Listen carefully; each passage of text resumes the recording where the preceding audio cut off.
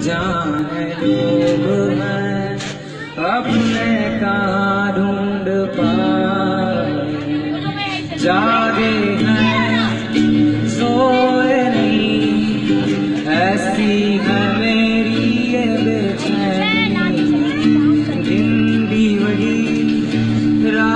forever.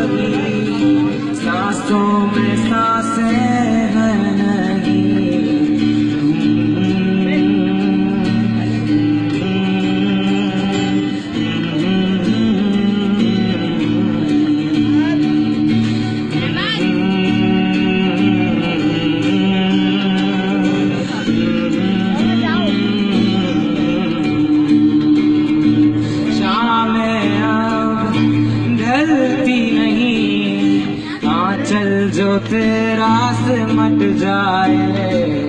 आप यहाँ हमेशा रहें दूरी रहे।